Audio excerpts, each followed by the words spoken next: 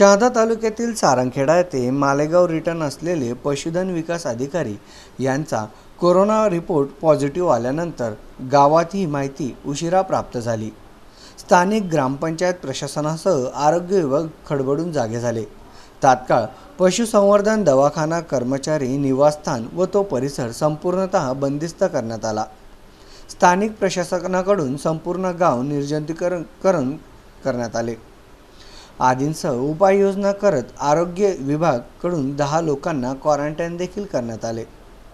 त्यांच्याजवळ संपर्कात आलेल्या वैजालीतील पशुधन विकास अधिकारी सहाय्यक पशुधन विकास अधिकारी परिचर व त्यांच्या पत्नीस अशा चार लोकांचे स्वाब देखील घेण्यात आले आहेत. तसेच उर्वरित लोकांचे देखील स्वाब घेण्यात आले आहेत.